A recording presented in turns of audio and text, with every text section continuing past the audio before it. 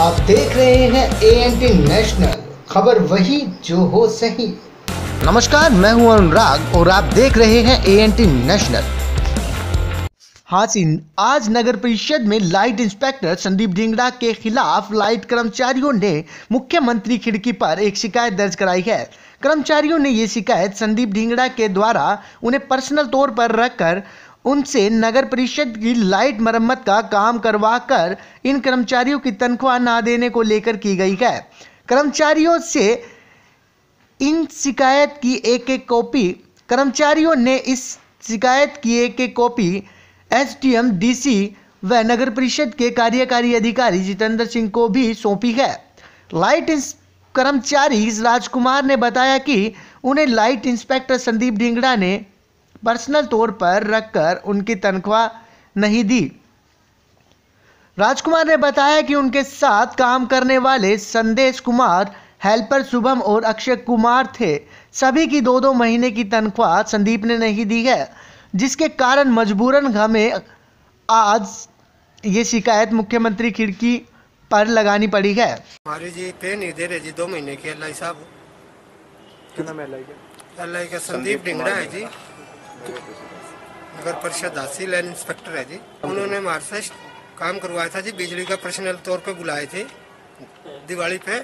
और दिवाली से अब तक हमारे साथ काम करवाया और हमारे तनख्वाह मांगी तो हमारे को इनकार कर दिया भाई तुम्हारी तनख्वाह नहीं है। सरकारी खाते से मिलेगी तो दूँगा, नहीं तो मेरे पास तुम्हारी कोई तनख्वाह नहीं है। हम चार लोग हैं जी। सभी की जी, मेरी तो साढ़े तेरह हज़ार रूपए जी पर मंथ, महीना। और दो महीने की है मेरी सत्ताईस हज़ार रूपए। एक संदेश कुमार है जी, मेरे साथ मिस्त्री, उसकी बाईस हज़ार रूपए, ग्यारह रूपए, ग्यारह हज़ार रूपए मंथ महीने तनख्वाह है। उसकी बाईस हज़ार रूपए दो महीने की। मेरा हेल्पर है जी, शुभम। उसकी सात हज़ार रूपए है जी, महीने की चौदह हज़ार रूपए उसकी है। एक अक्षय कुमार है, उसकी है दस हज़ार रूपए महीना। दो महीने की उसकी है जी, बीस हज़ार रूपए। और ये सारी अल्लाह ने देने से मना कर दिया हमारे को। तो जी, हम गरीब आदमी, बताओ कहाँ जाएँगे? जब दो दो महीने हमारी सैलरी नहीं मिलेगी तो गरीब आदमी कहाँ से खाएँगे? शिकायत जी, हमने सीएम विंडो पर डाल दी है एस डी साहब को दी है एस को दी है जी ईओ साहब को दे दी है। ये चारों जगह हमने इसकी कॉपी एक एक दे दी है।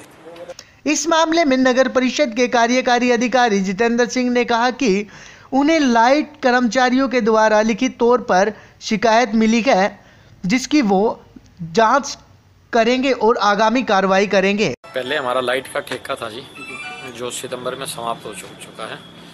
ये ठेकेदार के माध्यम से ही पहले कार्यरत थे यहाँ।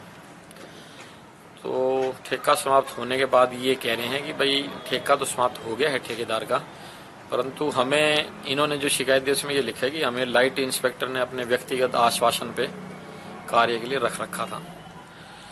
तो इसकी अभी मैं उससे लिखित में लूँगा। एल आई की, भाई, क्या मामला है? उसके बाद देखते हैं। A N T national bureau report आप देख रहे हैं ए एन टी नेशनल खबर वही जो हो सही।